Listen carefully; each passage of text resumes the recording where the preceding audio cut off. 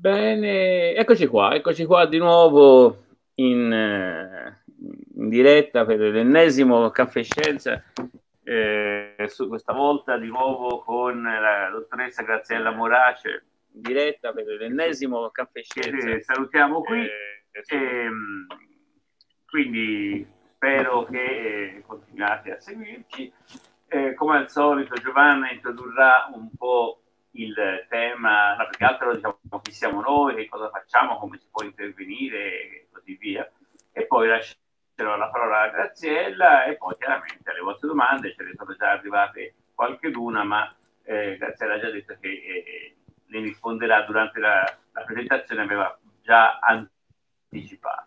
Giovanna, raccontaci un po' chi siamo e da dove veniamo e dove andiamo. Allora, intanto buonasera a tutti, grazie Graziella di essere di nuovo con noi per questa seconda serata eh, specifica eh, sul tema di cui te ti occupi al Caffè Scienza. Ricordo a tutti che per intervenire la modalità migliore è loggarsi su YouTube e scrivere nella chat. Eh, via via che arrivano le domande, io le presenterò a Graziella che risponderà.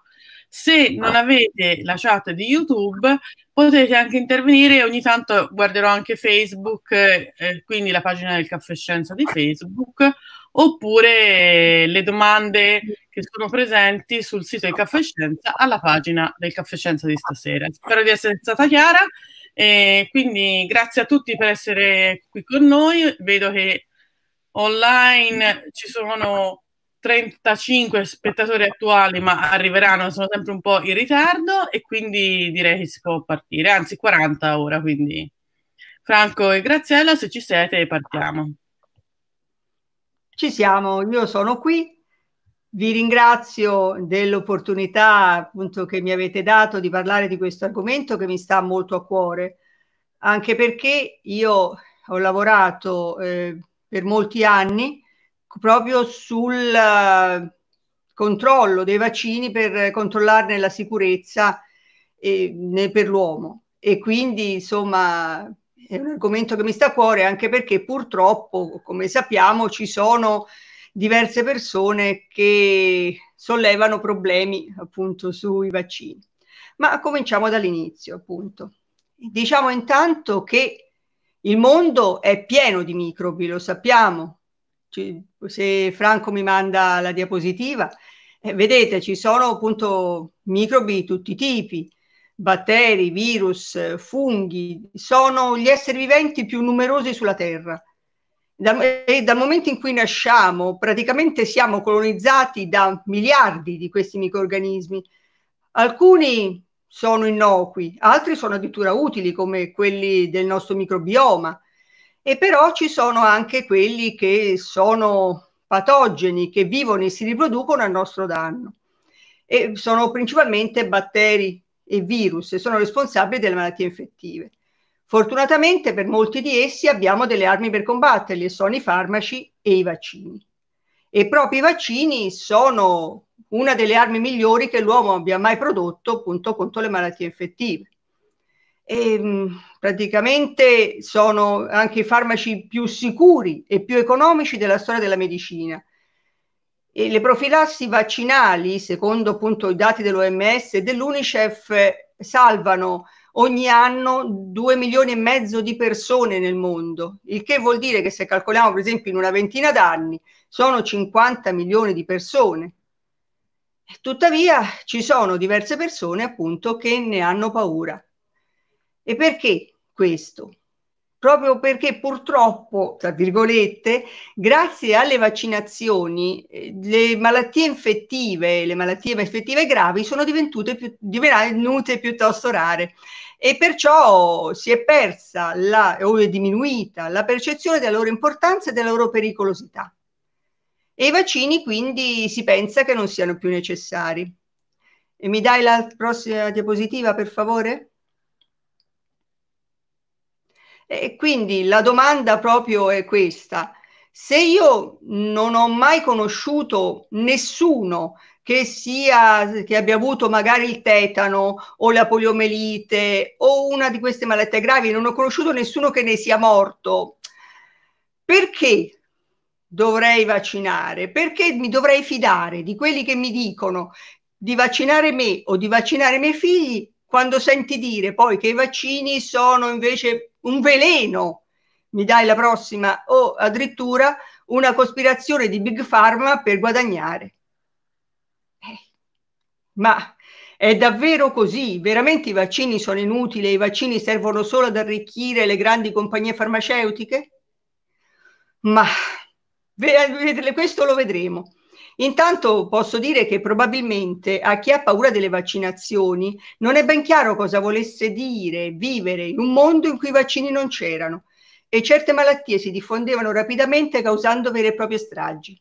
Il vaiolo, per esempio, era una malattia terribile che uccideva il 30% delle persone colpite, il che vuol dire che su un milione di persone ne morivano 300.000 e quelle che sopravvivevano molto spesso avevano dei, dei problemi come cecità o deformità degli arti. Si calcola che ancora nel secolo scorso il vaiolo abbia fatto 300 milioni di vittime. Poi per fortuna, grazie al vaccino, è stato debellato e è stato possibile dichiarare questa malattia, questo virus estinto alla fine del, degli anni 70. E poi abbiamo la poliomelite. Che dire della poliomelite? La poliomelite è una malattia che provoca paralisi e obbliga a vivere con le stampelle o in sedia a rotelle. Io avevo una compagna di classe che purtroppo appunto era sulla sedia a rotelle, per esempio, ma nei casi più gravi provoca addirittura la paralisi di tutti i muscoli, compresi quelli del diaframma, e la persona non riesce più a respirare, o muore o è costretta per tutta la vita, lo era per fortuna perché ormai è quasi debellato, insomma comunque era costretta in un polmone d'acciaio, immaginate che razza di vita.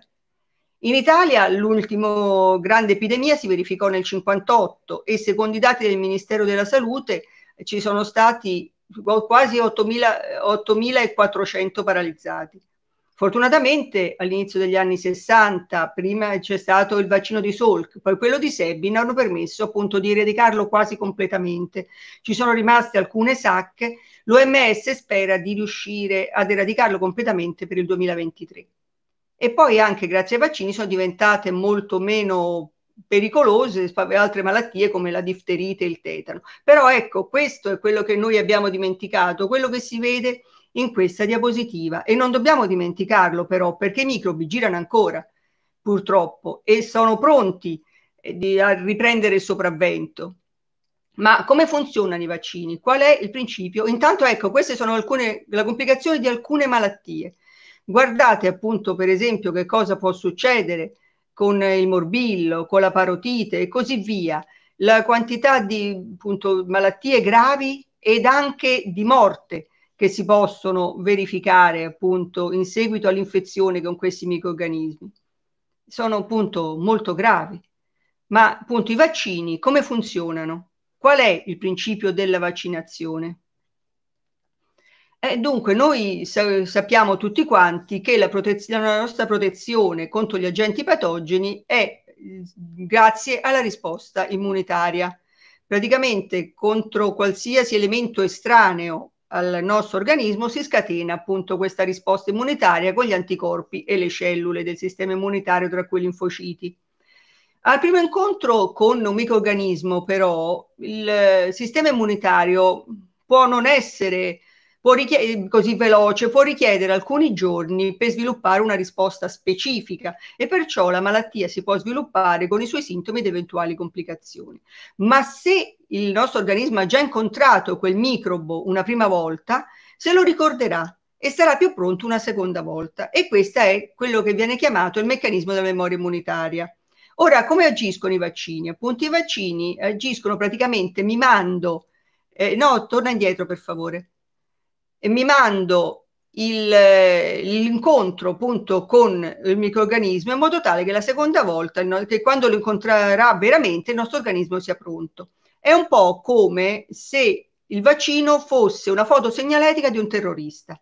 Se nessuno lo conosce, questo potrà agire indisturbato appunto e fare i danni che vuole, ma se la polizia sa che aspetto ha, potrà fermarlo in tempo prima appunto che possa mettere in atto i suoi piani criminosi. Questo è proprio appunto come funziona un vaccino. Ma come è fatto un vaccino? Un vaccino appunto è prodotto utilizzando minuscole quantità di agenti infettivi, cioè virus o batteri, che possono essere uccisi, inattivati o attenuati. Praticamente i microrganismi nel caso di attenuati si replicano ma non danno la malattia, negli altri casi non possono replicarsi. Oppure si possono avere, eh, può essere costituito il vaccino da alcune sue parti o prodotti cioè insomma solamente da quelli che vengono chiamati antigeni del microorganismo. Per esempio il vaccino antipolio che si usa adesso, che è quello di Salk, è costituito da virus inattivato, cioè ucciso, mentre quello che si usava prima, quello di Sebin, era un virus attenuato, così come lo sono quelli della parotite, per esempio del morbillo e della rosolia. Nel caso, per esempio, del vaccino antitetanico e dell'antidifterico, invece si utilizzano dei pezzetti della superficie del microorganismo, cioè scusate, si usano delle tossine attenuate, delle tossine attenuate, mentre si usano dei pezzi di microorganismo, per esempio, nel vaccino dell'epatite B, in cui si usa solamente una proteina di superficie di questo virus. E Parliamo appunto adesso del vaccino per il virus che ci sta, che gira ora, questo SARS-CoV-2, che appunto ci sta creando tanti problemi. Naturalmente appunto ci sono molte compagnie che stanno cercando di produrre questo vaccino e anche delle università. Ce ne sono attualmente addirittura una settantina di, eh, tra ditte e eh, laboratori di università che stanno cercando di produrre appunto questo vaccino. Si, ci sono vari meccanismi, ognuno stanno cercando appunto di produrlo man, con meccanismi differenti. Per esempio si possono usare delle cellule di lievito per produrre la proteina delle spicole, che appunto possa poi funzionare eh, per, per immunizzare. E per esempio questo è il sistema simile a quello con cui viene prodotto il vaccino dell'epatite B. Anche il vaccino dell'epatite B, la proteina immunogena viene fatta produrre dalle cellule del lievito. È interessante l'uso, appunto, che stanno, la produzione che stanno facendo con, avete sentito parlare, un cerotto, ovvero sia un pezzo di una plastica particolare che contiene tanti aghi di un materiale che si dissolve rapidamente una volta che è penetrato nella pelle che trasporta questa proteina. E questo eh, potrebbe, se funzionasse, potrebbe essere un vaccino piuttosto utile per i paesi poveri, paesi dove non c'è una catena del freddo assicurata, perché questo vaccino non necessita di refrigerazione. Quindi se funziona potrebbe essere appunto molto utile. E poi ci sta, per esempio, l'uso di adenovirus non patogeni, sono dei virus appunto che normalmente danno o raffreddori o eh, problemi intestinali, ma chiaramente qui sono trattati in maniera di non essere, di non dare la malattia, di non essere patogeni e sulla loro superficie vengono messe le spicole del virus del SARS-CoV-2. Sono le spicole quelle che diciamo gli antigeni che portano gli antigeni che sono così sembra, insomma si spera che siano quelli che danno l'immunità, che, che fanno sviluppare l'immunità. E per esempio eh, un vaccino di questo genere è quello che stanno producendo in, um, insieme una ditta italiana di Pomezia, la IRBM, insieme all'Università di Oxford e eh, per cui hanno detto appunto di eh, star cominci- stanno cominciando la eh, fase 1, cioè la, pro- la prova in un piccolo gruppo di individui per vedere se il vaccino eh, non, intanto se non è tossico. E anche c'è anche una ditta cinese che sta utilizzando lo stesso sistema e addirittura è già in una fase successiva. E poi un altro sistema invece è utilizzare l'RNA del virus, iniettare l'RNA del virus nell'individuo, nel sottopelle, in maniera tale che la proteina venga prodotta direttamente nell'organismo. E qui si può fare o iniettandolo direttamente con dei microaghi oppure facendolo portare all'interno di adenovirus che qui non vuoti, non funzionanti. Quindi chiaramente eh, qui già sono arrivate naturalmente le ipotesi di complotto, già si, dal quello che dice che è stato prodotto in laboratorio il, il virus per costringersi a comprare un vaccino e quindi arricchire le compagnie, che, le ditte che producono i vaccini o addirittura eh, marchiarci con dei microchip, come appunto sostiene questa, il successivo. Anche qui appunto marchiarci con un microchip in maniera tale poi da poterci controllare, da poterci seguire, insomma da privarci della libertà. Ci sono, c'è qualche domanda fino a questo punto? Mi fermo un attimo. No, vado avanti. Vai allora, avanti perché al momento Va bene. ci sono okay. domande. I vaccini sono dei farmaci, appunto, chiaramente, ma dati alla mano sono i farmaci più sicuri che esistano, la cui qualità è oggetto di un'attenta valutazione. Se ci pensiamo, vediamo che non c'è nessun altro farmaco che dia una reazione avversa di un, uno su un milione, un milione e duecentomila persone. Per esempio, il rischio di reazioni avverse legato all'aspirina o ai FANS, cioè gli antinfiammatori non steroidei, è molto, è molto, molto più elevato. Addirittura, secondo studi negli USA, ogni anno l'aspirina e i FANS sono responsabili di 100.000 ricoveri e tra i 7.000 e i 10.000 decessi. Se ci pensate anche il latte, le uova, ingerire delle arachidi, portare, eh, andare in giro con la macchina, bene, queste sono tutte attività che hanno un rischio maggiore e possono essere mortali.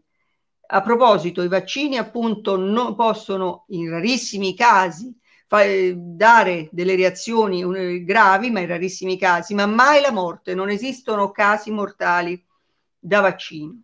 Adesso poi ne parleremo ancora dopo. Comunque il processo alla base dell'approvazione di un vaccino è molto lungo, richiede numerose fasi, proprio per garantire la sicurezza.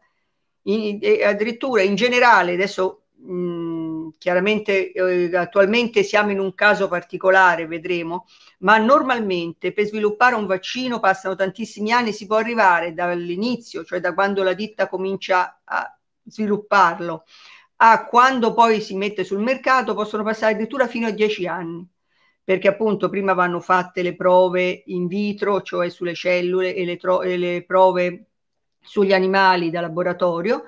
Dopodiché, se tutto va bene, cioè se già ci sono delle indicazioni che il vaccino non è pericoloso ed è immunogeno negli animali, vengono inoltrata la richiesta di autorizzazione per fare le prove sull'uomo richiesta autorizzazione che si inoltra alle autorità competenti sia nazionali che internazionali. Le prime prove vengono fatte su piccoli gruppi di eh, volontari, centinaio di persone o poco di più, per vedere se il vaccino non è pericoloso, cioè se non è tossico. Passata questa fase si aumenta il numero di volontari e si comincia a provare se il vaccino, oltre a non essere tossico, è anche immunogeno se già ci sono delle buone indicazioni, si, si, va avanti su un numero molto più elevato, di, su alcune migliaia di individui.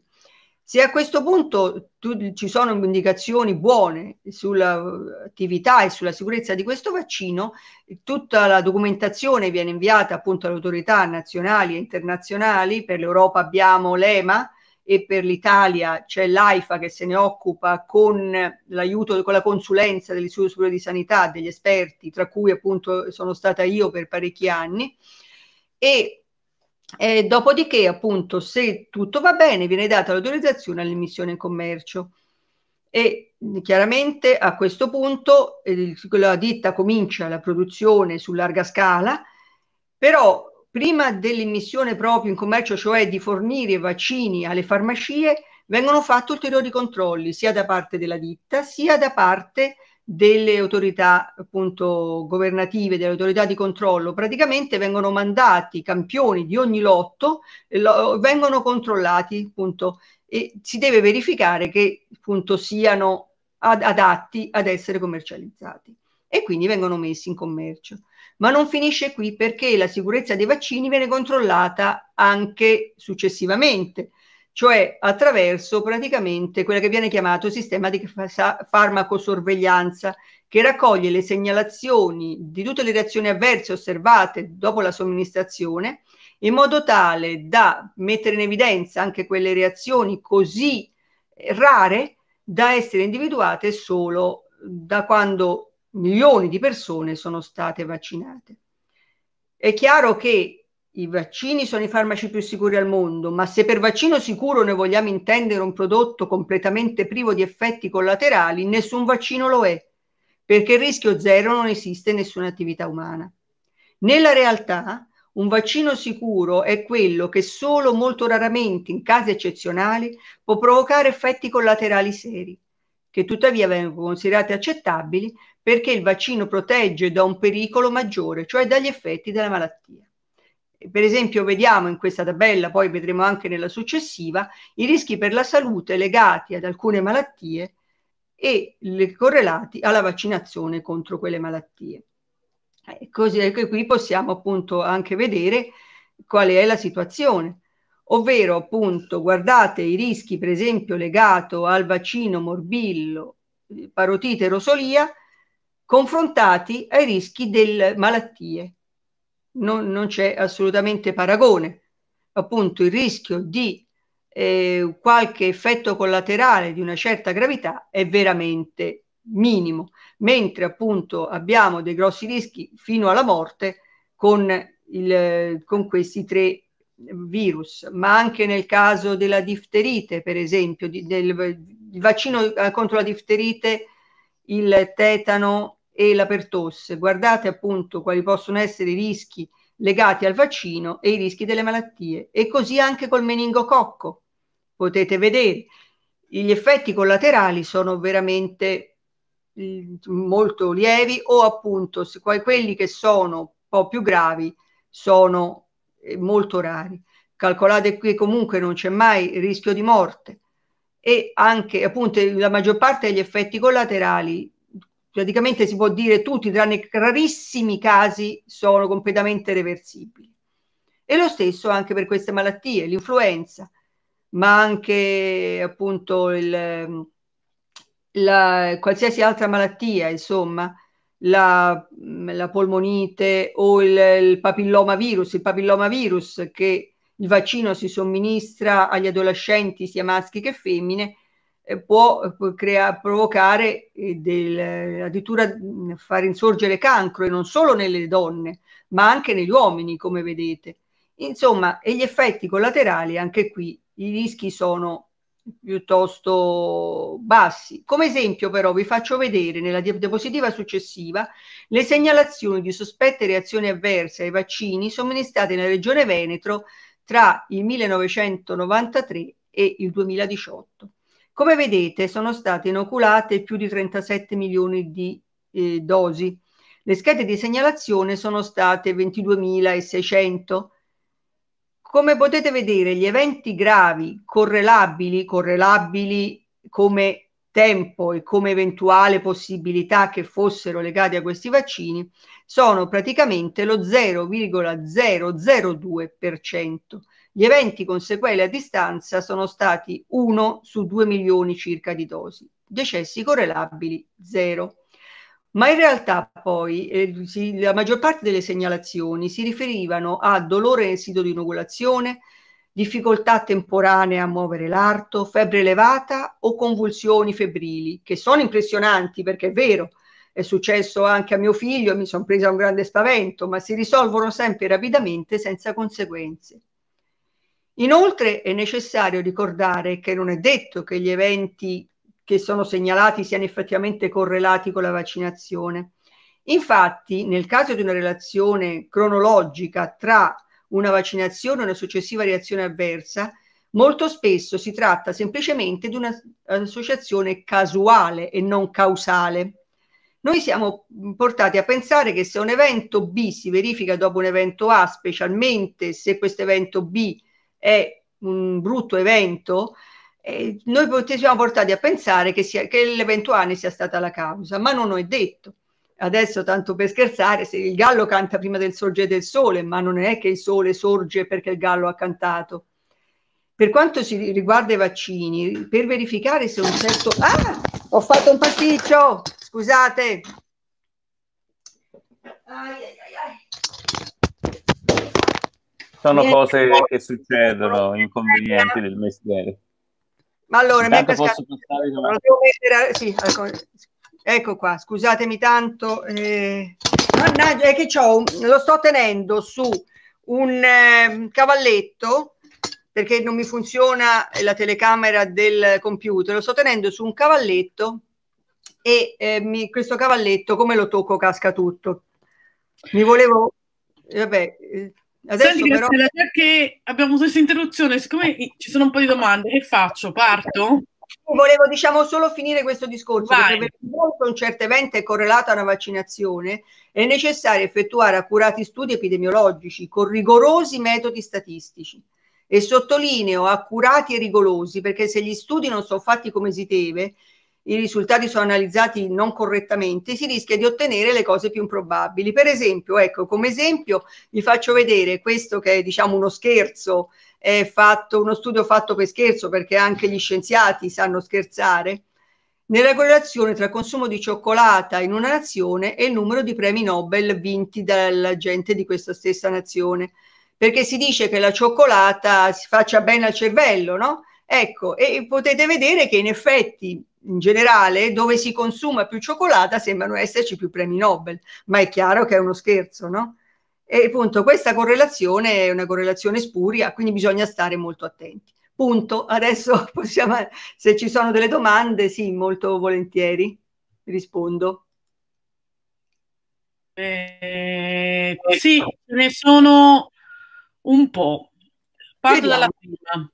Martina chiede, molti Novax tramite uno dei loro portavoci che abbiamo citato anche la volta scorsa, ovvero Montanari, mm, dicono, dicono, che nei preparati dei vaccini ci sono embrioni o parti di essi, è vero? Ci sono, scusa, non ho capito la parola. Embrioni, embrioni. Ah, certo, come no. Allora adesso sì la spiego questa cosa. Dunque, ehm, molti i vaccini per i virus sono degli organismi che crescono solamente sulle cellule, quindi devono essere coltivati appunto su cellule. Allora, per, eh, si fanno crescere appunto eh, in coltura in laboratorio su eh, delle cellule e per molti, per diversi virus, queste cellule su cui crescono bene, essendo virus umani, sono virus umani, oppure, dico cellule umane, oppure cellule di scimmia. Tanto tempo fa sono state, eh, diciamo, da de, un, un, embrione abortito nel, all'inizio de, negli anni 50 è stato, sono state prelevate alcune cellule e sono state messe in coltura. Queste cellule sono state riprodotte, riprodotte, riprodotte, ormai sono state, eh, diciamo, riprodotte per milioni di volte. E sono quindi delle cellule sì che provenivano da un embrione, ma ormai, cioè non, appunto, non è che sono fatte sugli embrioni e comunque, e comunque ogni vaccino quando viene prodotto viene poi purificato, chiaramente. Il virus viene estratto da queste cellule, viene purificato, purificato, purificato, alla fine praticamente nel vaccino c'è solo il virus o le sue parti se appunto viene il, vac- se il virus viene spezzettato per, per utilizzarlo nel vaccino. Quindi appunto sì, una volta si è partito chiaramente, prima cosa, una cosa che voglio chiarire, questo eh, aborto era un aborto spontaneo, non è stato fatto apposta naturalmente. Così come delle altre cellule, per esempio, vengono da, eh, dal cancro di una povera signora che negli Stati Uniti negli anni 50 morì di cancro e furono prese le cellule di questo tumore e furono messe in coltura perché le cellule tumorali, come sappiamo, crescono molto bene e quindi chiaramente eh, crescono in grandi quantità e crescono molto bene, ma anche in questo caso appunto ormai le cellule del tumore originario non ci sono più perché anche queste e poi anche in questo caso vengono strapurificati per cui alla fine non c'è più nulla e c'è solo il virus. La, l'altra domanda invece ce la fa Massimo, che ci chiede come funziona il vaccino influenzale, visto che ci vuole così tanto tempo per creare un vaccino e l'influenza è sempre diversa per ogni anno? Dunque, sì. E beh, intanto si fa rapidamente perché il, chiaramente la tecnica è sempre la stessa. Quindi una volta che l'OMS, eh, dopo aver ricevuto tutte le segnalazioni da, dall'emisfero opposto a quello per cui va preparato il vaccino, cioè il vaccino nostro, per esempio, eh, viene preparato in base alle segnalazioni dell'altro emisfero in cui quando da noi è estate da loro è inverno per cui circola l'influenza. Allora una volta aver ricevuto tutte le segnalazioni stabilisce quali saranno i ceppi che devono essere messi nel vaccino. E appunto siccome il sistema appunto è sempre lo stesso eh, si fa comunque in tempo eh, a produrlo anche perché il sistema è già approvato, quindi deve essere solo controllato che sia stato applicato nella maniera giusta, che eh, non si siano verificate delle mutazioni che possono appunto rendere il virus pericoloso. E insomma, una volta verificato questo, il sistema è sempre lo stesso, per cui ci vuole poco, appunto e chiaramente gli studi sull'uomo anche sono più accelerati e con meno persone, per, proprio perché ormai si conosce questo, questo virus, si, anche se perché le differenze non è che sono tali da rendere il virus completamente differente e quindi da necessitare degli studi ex novo completamente o di, di modificare il sistema di produzione. Per cui insomma si riesce a fare rapidamente. È un tour de force, una faticaccia sia per la ditta e sia per quelli appunto per le persone che debbono poi dare l'ok, cioè controllare che va tutto bene, cioè le persone dei, dei laboratori autorizzati o del, insomma dell'AIFA e così però si fa. Bene. Ehm, Sempre a proposito appunto di persone e di vaccini, Francesco chiede qual è il campione minimo di persone per provare il vaccino e valutare gli eventuali effetti collaterali. E beh, appunto, come ho accennato prima, noi abbiamo prima un centinaio di persone, 100-200 persone, per vedere che non sia tossico. Una volta determinato questo, appunto, si, si aumenta il numero delle persone e si, diciamo praticamente e alla fine si arriva a qualche migliaio di persone, insomma, eh, sono già stabilite queste tappe, diciamo, ci sono queste tre tappe, appunto inizialmente 200-200 persone per vedere che non sia tossico, poi altre due tappe successive, aumentando il numero delle persone, arrivando appunto a qualche migliaio, eh, per vedere non solo che non sia tossico, ma anche che sia immunogeno. Adesso appunto so il numero preciso, preciso. No Va bene, va benissimo. Siamo su qualche migliaio di persone appunto per eh, dimostrare che, che possa essere utilizzato. Gabriele chiede, reazione allergica severa, si intende shock anafilattico? Il medico curante non mi somministrò il vaccino per la meningite sulla base delle reazioni precedenti, parlava di terreni di cult- Beh, dunque, ma non so se lui se, ha avuto per esempio uno shock anafilattico ad un altro vaccino. È chiaro che se aveva già avuto uno shock anafilattico verso un altro vaccino, direi che non era il caso di somministrarglielo. Invece, in, se una persona è semplicemente allergica, eh, non, non, è una controindicazione all'utilizzazione di un vaccino, per esempio, solo in caso appunto che si abbia avuto uno shock anafilattico o abbia avuto una reazione, quella che viene una Guillain-Barré, che è un problema che si può verificare a volte eh, con eh, appunto la vaccinazione, ma è molto raro e, e di, comunque è reversibile ed è praticamente un problema che si verifica anche con altre con infezioni proprio, cioè con il virus vivo che il virus di natura può a volte capitare. Adesso questo discorso del terreno di cultura non so esattamente cosa volesse intendere il, il medico. Gabriele, se ce lo vuoi riscrivere. No, solo arrossamento e gonfiore. Ecco, c'è, c'è scritto che ha avuto in, ehm, probabilmente agli, agli, ai vaccini precedenti solo arrossamenti e gonfiore. Eh beh, ma questo è normale, cioè questo è l'effetto collaterale più classico che praticamente hanno tutti o almeno il 95% delle persone. Questo è l'effetto normale. Si può avere magari anche un po' di febbretta, appunto, anche elevata magari, che passa in uno o due giorni. Queste sono le cose più comuni. E quindi che non gli abbia fatto un vaccino perché temeva chissà che cosa, perché Gabriele aveva avuto arrossamento e gonfiore, non lo so, mi sembra strano, che non saprei che dire, insomma.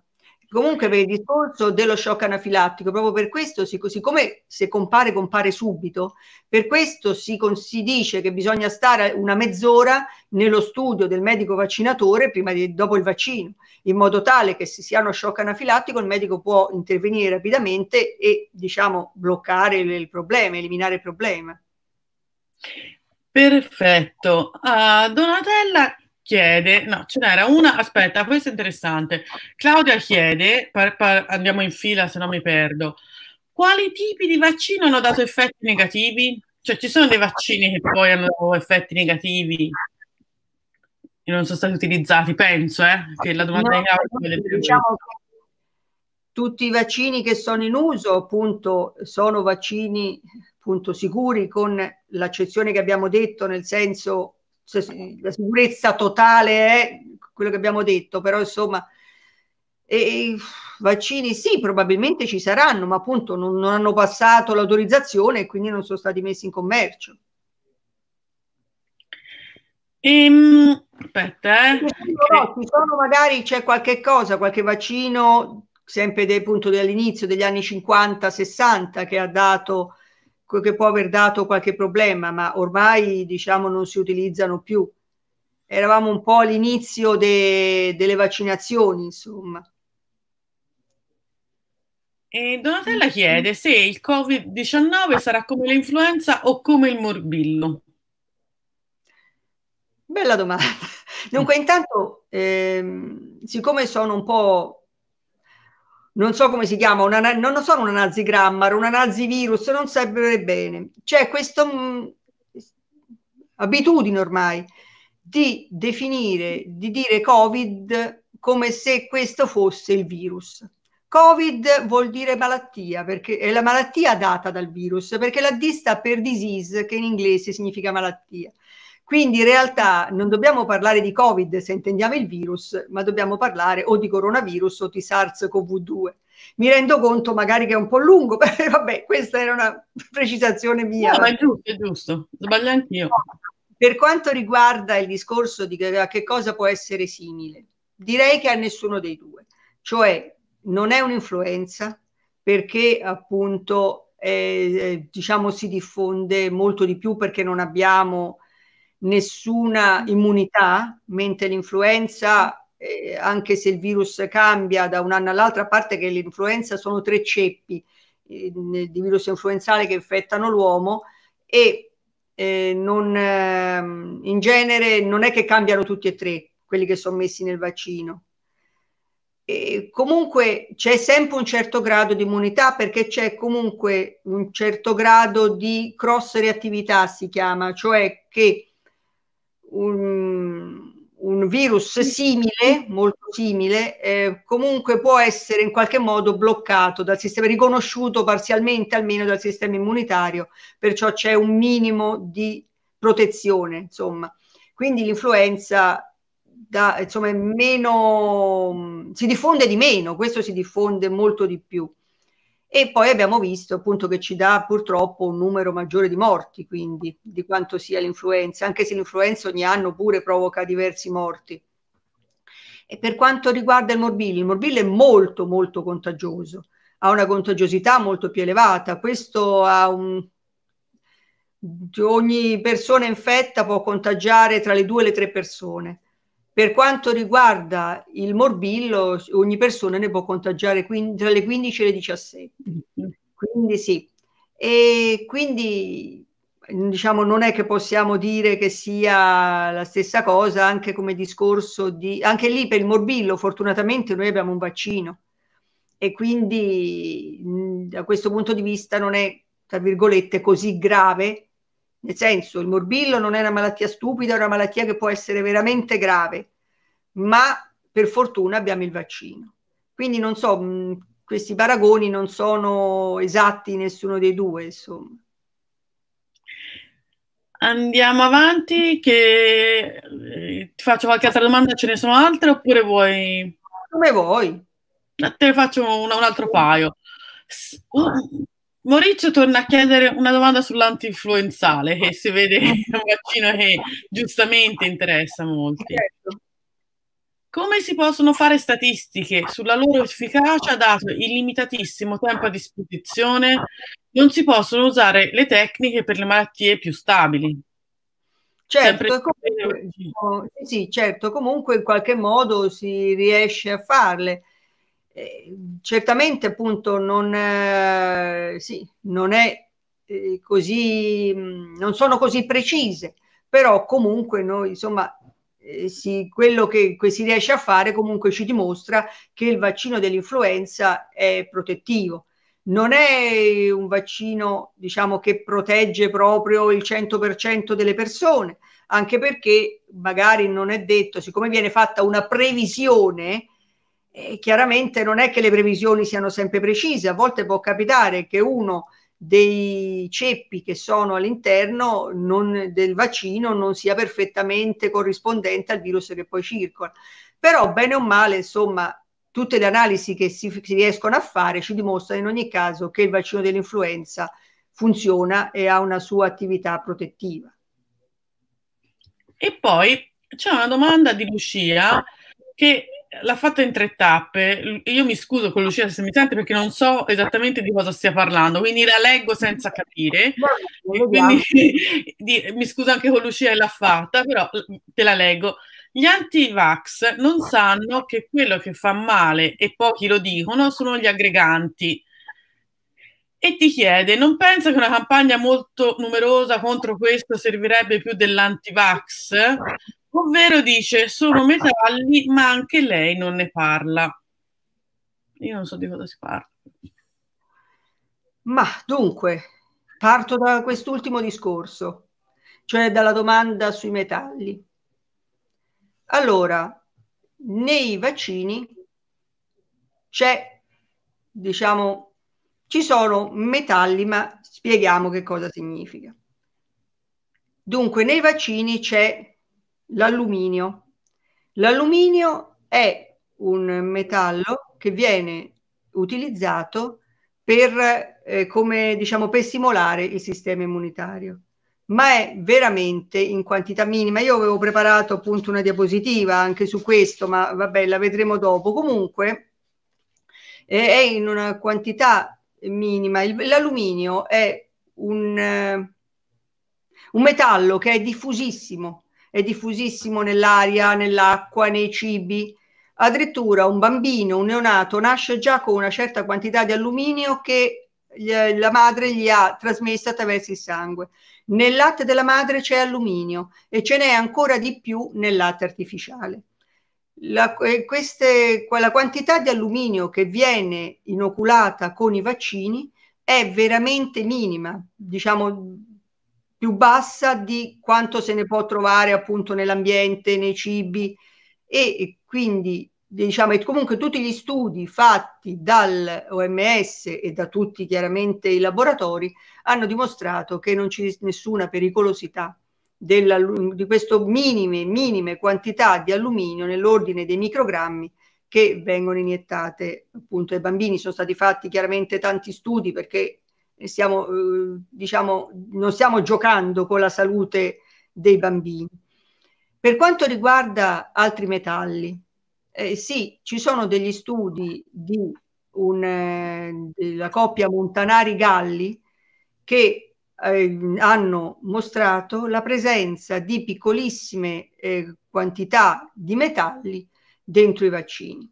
Però, però questi studi sono considerati non avere validità perché in realtà mancano i, i controlli. Se questi persone avessero utilizzato dei controlli, cioè avessero utilizzato anche come controllo semplicemente dell'acqua, si sarebbero accorti che anche nell'acqua ci sono particelle di metallo. Purtroppo c'è l'inquinamento e particelle metalliche sono ovunque, nell'acqua, nei cibi. Loro stessi hanno fatto uno studio in cui hanno dimostrato la presenza di particelle di metallo nel pane, nel, nella cioccolata, ovunque.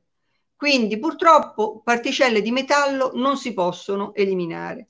Se noi consideriamo che molte delle persone che si dicono anti-vax poi per esempio si fanno i tatuaggi e a volte le fanno fare anche ai ragazzi, ai, ai, può capitare anche a bambini piccoli, dove lì vengono inoculate grosse quantità di materiali, compresi metalli, vedremo appunto che questo discorso non ha, non ha senso. Tra l'altro, appunto, sono stati fatti degli studi anche qui da eh, laboratori seri e appunto hanno mostrato che le quantità comunque sono veramente infinitesimali e tali da non creare problemi alla salute.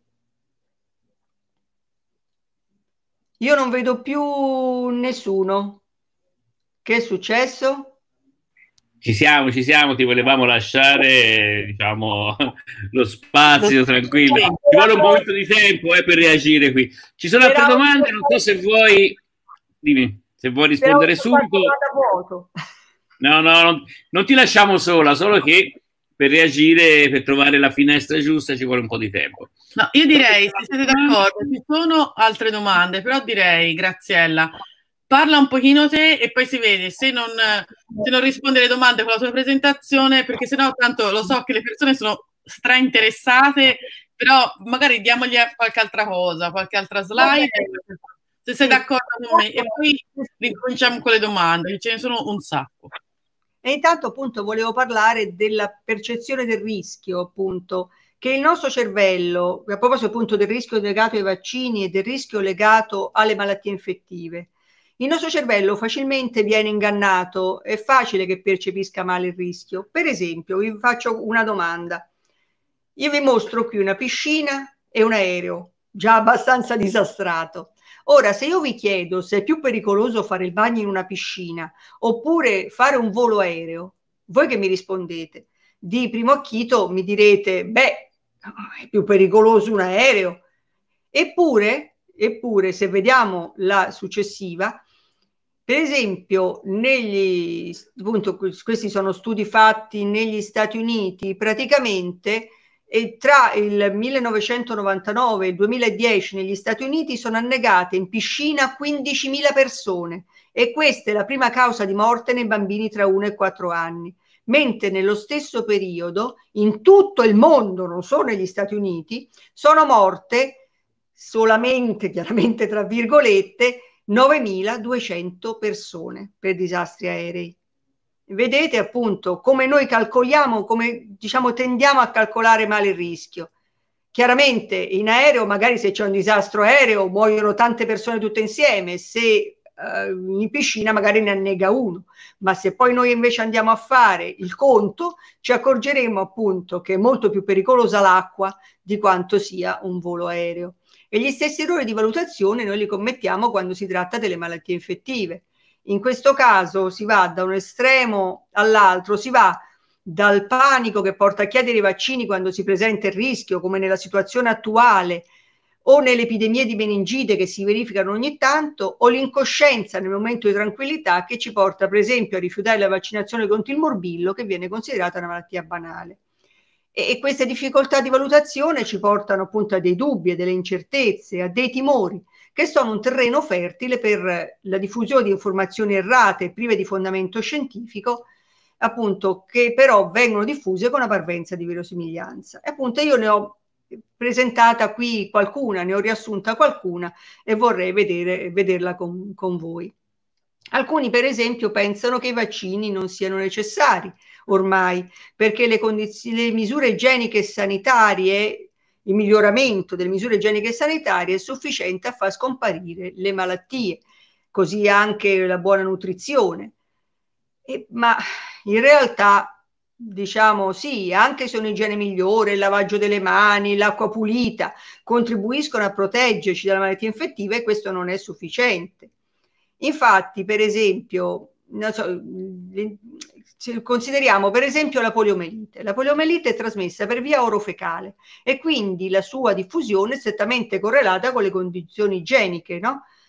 Per tuttavia, per è stato possibile eliminare questa malattia non solo dai paesi industrializzati, ma anche in paesi o aree con bassi livelli igienico-sanitari. Per esempio, appunto, è stato possibile eradicarla dall'India, anche se, come sappiamo, esistono delle zone dell'India dove i livelli igienici e anche diciamo sanitari e anche le condizioni di nutrizione sono veramente pessime.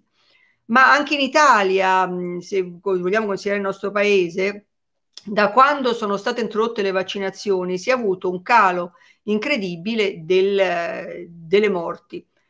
Uno studio dell'Istat, per esempio, sulla causa di morte appunto e sulla mortalità dei bambini fatto a partire dalla fine dell'Ottocento ad oggi, ha mostrato che appunto quando le condizioni igienico-sanitarie erano pessime, tra la fine dell'Ottocento e l'inizio del Novecento, morivano decine, tra gli 80.000 e i 30.000 bambini tra la fine dell'Ottocento e l'inizio del Novecento.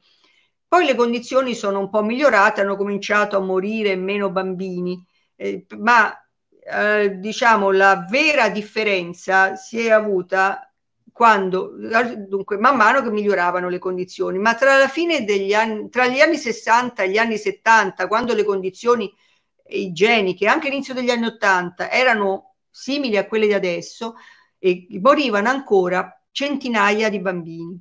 Ma con, l'introduzione delle vaccinazioni sono andati sempre a diminuire e per arrivare praticamente agli anni 2000 dove mh, la mortalità infantile è di, so, di pochissimi bambini, si calcola in 10 bambini all'anno, tranne il fatto che adesso, per esempio, purtroppo con la diminuzione della, della vaccinazione contro il morbillo, per esempio, sono aumentate alcune morti.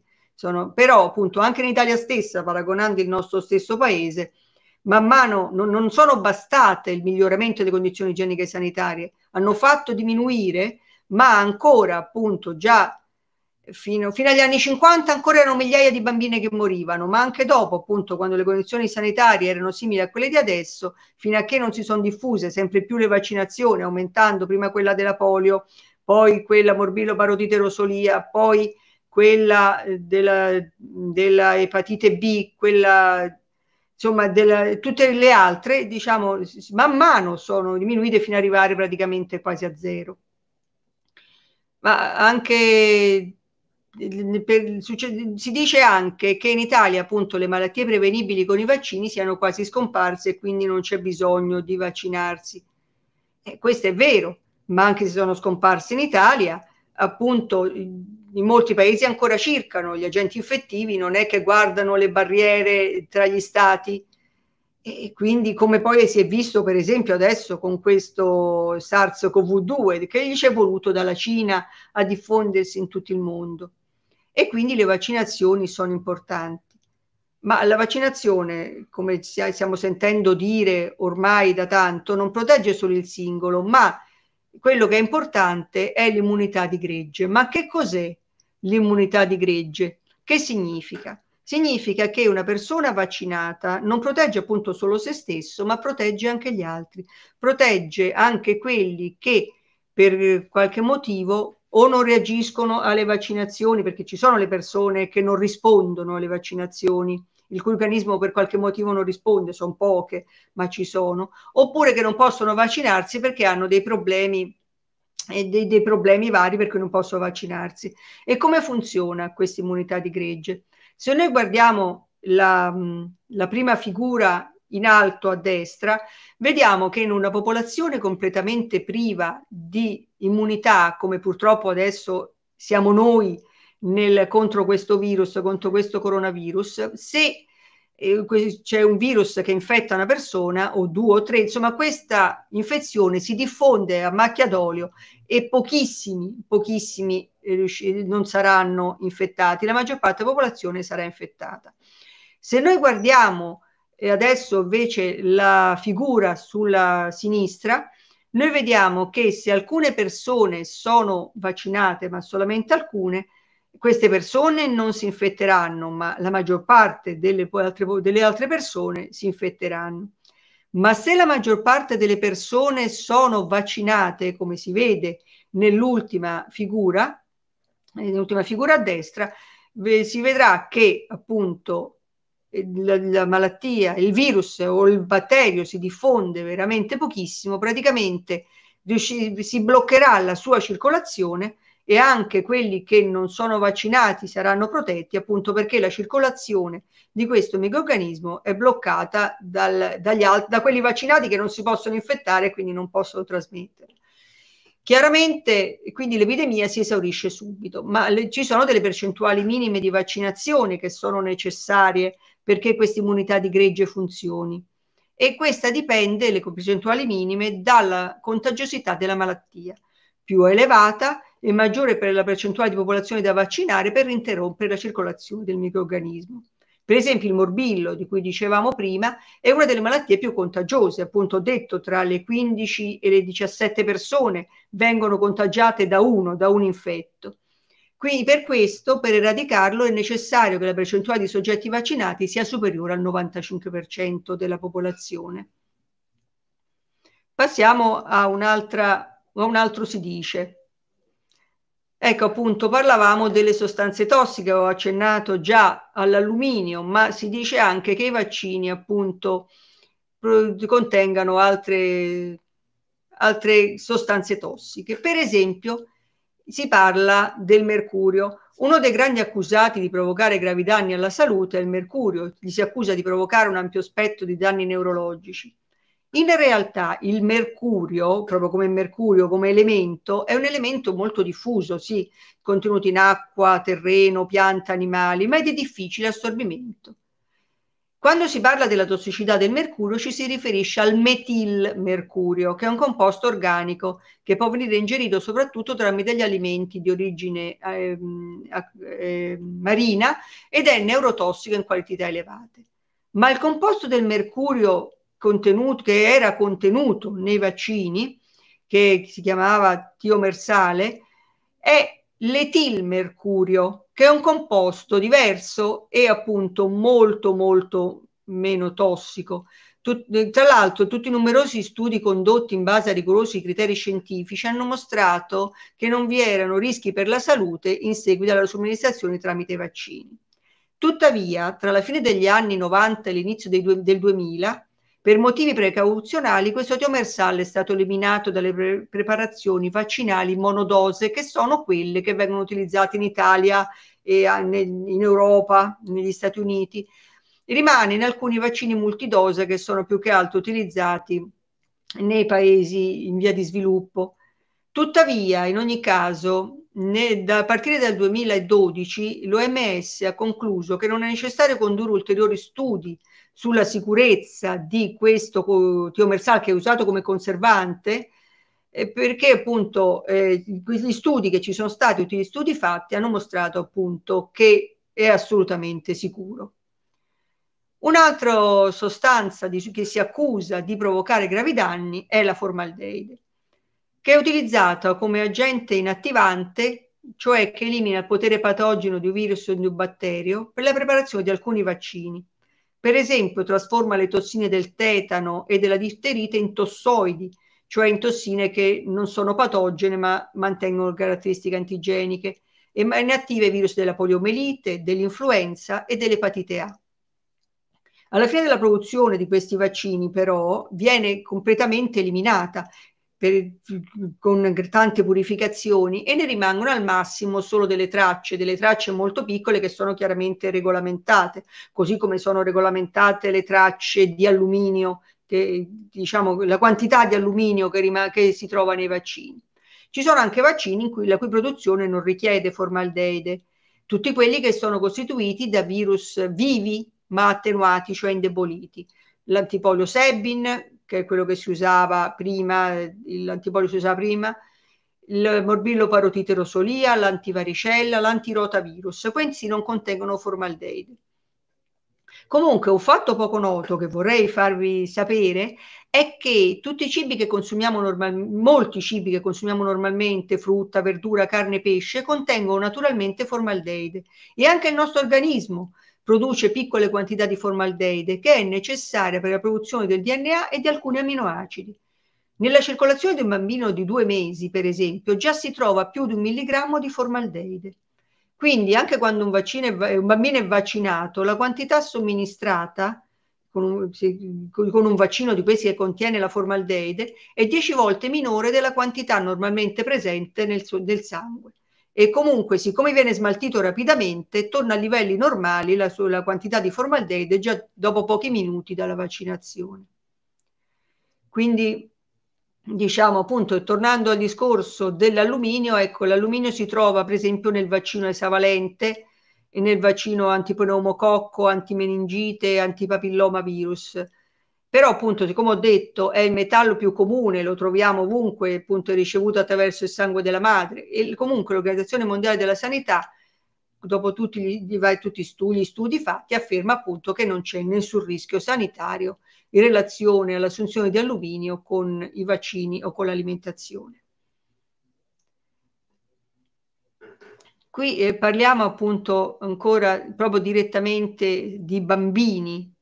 Sì, un dubbio abbastanza diffuso tra i genitori è se l'attuale calendario vaccinale non sia troppo fitto e se il sistema immunitario di un bambino di pochi mesi, che loro ritengono fragile, non venga sovraccaricato dal gran numero di vaccini che vengono somministrati in una sola volta. Addirittura alcuni dicono che la somministrazione combinata dei vaccini sarebbe responsabile della comparsa di allergie e malattie autoimmuni e perciò consigliano di aspettare con le vaccinazioni fino a che il sistema immunitario non sia sufficientemente maturo ma in realtà il sistema immunitario di un bambino di pochi mesi è, suffi- è, perfettamente capace di rispondere ogni giorno alle migliaia di sostanze con cui viene in contatto. Basti pensare che con ogni respiro o con una piccolissima ferita entrano nell'organismo molti più microorganismi di quanti ne entrino con l'intero calendario vaccinale. Posporre le vaccinazioni semplicemente non provoca un vantaggio, ma ha lo svantaggio di lasciare i bambini senza protezione proprio nel periodo in cui sono a maggior rischio di malattie con decorso grave e con possibili complicanze. Alcuni temono che con l'esavalente il vaccino venga esposto contemporaneamente a sei malattie, ma qui non si tratta di sei malattie, si tratta solamente di antigeni, cioè di, pe- di pezzetti del microorganismo che stimolano il sistema immunitario a produrre il, una risposta immunitaria. In realtà, se guardiamo la diapositiva successiva, per esempio, negli anni, diciamo tra la fine degli anni, negli anni è diminuito il numero di antigeni somministrati, pur essendo grandemente aumentato il numero di malattie contro cui un bambino viene a essere protetto. Per esempio, appunto, tra la fine degli anni 60 e la fine degli anni 70, vedete la quantità di i vaccini erano pochissimi, come potete vedere, eppure, eppure la quantità di eh, antigeni era maggiore di quella che è, che è somministrata adesso e questo con i vaccini obbligatori. Ma se andiamo a guardare nella successiva diapositiva la somma tra vaccini obbligatori e vaccini consigliati, vediamo che se alla fine degli anni 60-70, se uno voleva fare anche la pertosse a cellula intera, cioè proteggere il bambino contro la pertosse, eh, eh, dava al bambino una quantità incredibile di antigeni. Ma nella situazione attuale, se noi aggiungiamo ai vaccini obbligatori anche vaccino, quelli che sono proprio l'infanzia, aggiungiamo appunto il papilloma, il meningococco, e tutti questi altri, noi vediamo che al massimo veniamo ad avere poco più di 200 antigeni e non c'è appunto paragone. Quindi se si, ha, se si è sopravvissuti prima, figuriamoci adesso. Inoltre comunque tutti gli studi fatti hanno mostrato appunto che non ci sono differenze tra i bambini vaccinati e quelli non vaccinati rispetto alle allergie e alla malattia autoimmune. E veniamo poi alla bomba, cioè ai vaccini responsabili dell'autismo. Purtroppo questa è una diceria falsa che ha fatto tantissimi danni e ne continua a fare. Questa eh, diceria ci dice che i vaccini, e in particolare il trivalente morbillo, parotite e rosolia, possono essere causa di autismo. Questa ipotesi è nata nel 1998 in seguito a uno studio di un medico inglese eh, si, chiamava, si chiama Andrew Wakefield, che è stato pubblicato su Lancet, che è una rivista, una delle due riviste più importanti del, scientifiche, l'altra è il Nature. Allora lui che diceva? Diceva che eh, il vaccino morbillo parotite rosolia, appunto, secondo i suoi studi, provocava l'autismo chiaramente ha suscitato un grandissimo clamore, tantissimi ricercatori scienziati hanno provato a replicare i suoi studi, ma non ci sono riusciti, nessuno ha avuto gli stessi risultati. In seguito a successivi controlli fu dimostrato che i risultati di questo studio e di studi successivi che lui aveva pubblicato sullo stesso argomento erano falsificati, tanto che Lancet, appunto la rivista, ha ritirato l'articolo e appunto quindi ha ritirato la pubblicazione. Inoltre, inoltre, non basta questo, fu dimostrato grazie all'indagine di un giornalista, no, torna indietro per favore, Dimostra- fu dimostrato in, grazie all'indagine di un giornalista inglese, Brian Deere, che Wakefield aveva ricevuto un cospicuo finanziamento di 500.000 sterline, cioè sono circa 500.000 sterline, cioè circa 600.000 euro, da uno studio di avvocati che sosteneva cause di risarcimento contro lo Stato per danni da vaccino, proprio per eh, dimostrare, per fare uno studio che dimostrasse la correlazione tra vaccino morbillo, parotite, rosoli ed autismo. In realtà nello studio lui utilizzò pochissimi bambini, fece delle false diagnosi perché alcuni bambini erano già autistici prima di, essere, di ricevere il vaccino fece, gli esami, erano, gli esami istologici erano falsi, campioni negativi passati per positivi. Inoltre si scoprì che Wakefield aveva brevettato un sistema di vaccinazioni singole che proponeva al posto del combinato morbillo parotite rosolia e aveva anche sviluppato una cosiddetta cura per i soggetti autistici. Per questi motivi Wakefield fu licenziato dall'ospedale dove lavorava, successivamente anche radiato dall'albo dei medici inglesi. Si è rifugiato negli Stati Uniti dove continua a fare danni e, danni e proseliti. Ma quali sono i motivi per cui si, si, si, diciamo, si può pensare che questi vaccini, i vaccini, in particolare il morbillo, parotite, rosolia, possono essere collegati con l'autismo. Cos'è che li fa, appunto, che fa additare questi vaccini come causa di autismo? Sono due. L'età di insorgenza dei sintomi più caratteristici e l'incremento dell'insorgenza, dell'incidenza di autismo. In genere il vaccino morbillo parotite rosolia viene somministrato tra i 13 e i 15 mesi di età del bambino e questo è proprio il periodo in cui si pos- possono comparire i sintomi del disturbo autistico. Tale coincidenza temporale può portare ad attribuire appunto la comparsa dei disturbi dello spettro autistico a- al vaccino, ma si tratta di una correlazione temporale e non causale.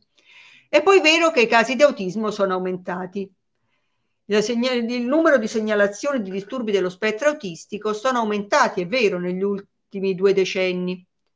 Sebbene tutte le cause di questo aumento non siano note, tuttavia uno studio danese condotto su circa 700.000 bambini ha rilevato che esso in realtà è in buona parte dovuto a cambiamenti nei criteri diagnostici, che oggi comprendono disturbi che una volta erano classificati a parte, per esempio ritardo mentale, difficoltà del linguaggio, o addirittura forme così leggere da non richiedere un intervento medico. E questo porta di conseguenza chiaramente ad un apparente aumento di casi di autismo.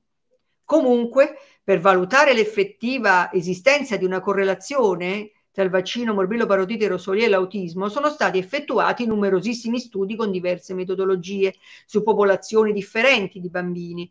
Tutti gli studi condotti in maniera rigorosa e che hanno coinvolto centinaia di migliaia di bambini ci hanno mostrato la stessa conclusione. Non c'è nessun rapporto tra il morbillo, parotite e rosolia e la sindrome autistica. In realtà gli studi più recenti hanno mostrato come l'origine dell'autismo, e lo possiamo vedere ecco qui in questa diapositiva, siano, risieda in alterazioni genetiche congenite, cioè preesistenti alla nascita. Ma quale può esserne la causa? C'è uno studio, per esempio, che ha mostrato che alcune malattie durante la gravidanza, come il diabete, alcune infezioni, rosolia, citomegalovirus, febbre prolungata ed elevata, possono essere collegate con la successiva comparsa dei sintomi di autismo, così come l'assunzione di alcuni farmaci, di cocaina, di quantità elevate di alcol e l'esposizione ad un elevato inquinamento. Infine, uno studio successivo su oltre 200.000 famiglie ha mostrato che alcune delle mutazioni genetiche osservate sono ereditate dal materiale genetico delle cellule germinali, ovvero sia sono già presenti nelle cellule uovo e negli spermatozoi e addirittura la maggior parte, cioè oltre il 75%, è a carico degli spermatozoi e la loro frequenza subisce un notevole aumento con l'aumentare dell'età del padre. Tutti questi studi appunto ci contribuiscono quindi a mostrarci che non c'è un ruolo causale delle vaccinazioni effettuate nei primi anni di vita sull'autismo, appunto ci eliminano i possibili dubbi e la spiegazione quindi è che non si tratta di un nesso causale, ma di una coincidenza temporale. Un'altra chiacchiera vogliamo vedere? Oh, volevo finire un attimo con le chiacchiere, diciamo, e poi magari altre domande, cioè chiacchiere nel senso un altro si dice. Allora, ecco qua, scusami. Dimmi. Scusami, ma stavo rispondendo sulla chat perché c'è un po' di discussione. C'è... Va bene, se, vole- se, volete possiamo parlarne anche adesso, poi fa- diciamo qualche altro si dice e le vediamo dopo. Vai, no, perché c'è, in realtà c'è un, una persona su 90, quindi io la lascerei prendere. Se qualcosa che posso rispondere, se no...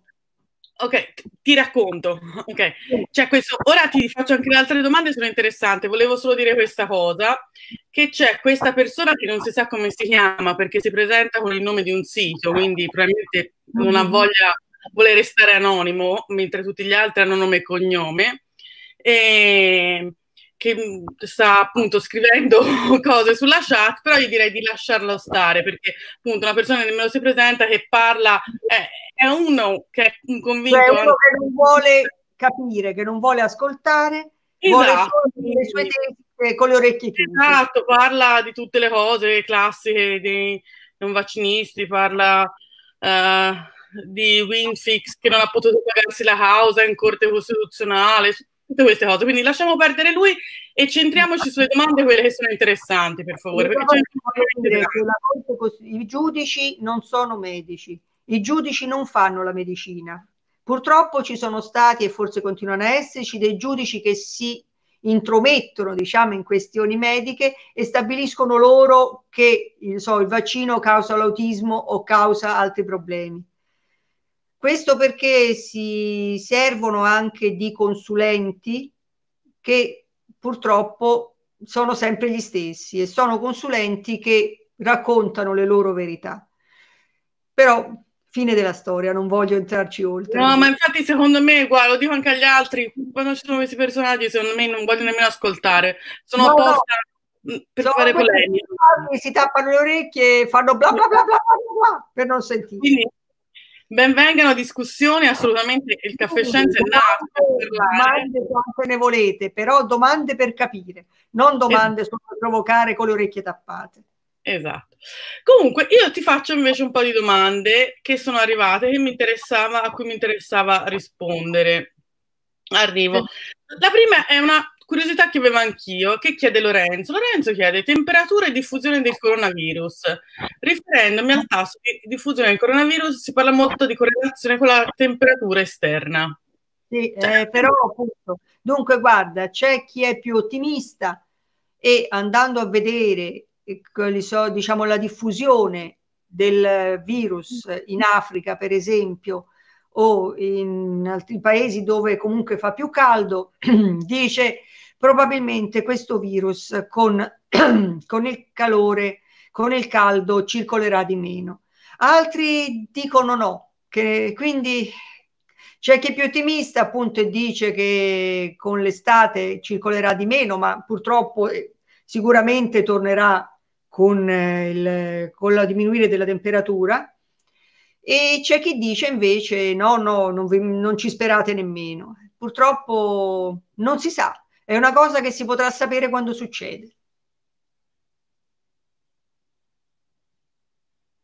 Perfetto, scusami, eh, stavo andando avanti perché devo arrivare a trovare se ci sono delle domande, perché c'è stata appunto tutta questa, poi te la farò leggere, la discussione interessante.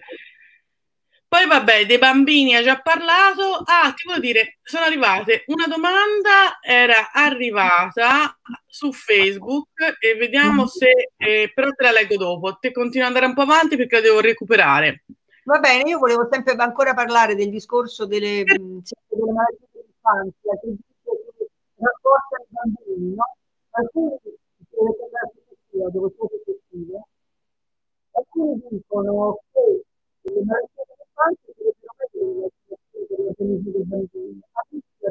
per il suo sistema immunitario, che invece verrebbe indebolito dalle vaccinazioni. In realtà le malattie dei bambini espongono spesso alla comparsa di sintomi piuttosto spiacevoli e anche dolorosi, molto di più, molto più pesanti dei possibili piccoli fastidi conseguenti alla vaccinazione e anche eventuali gravi complicazioni.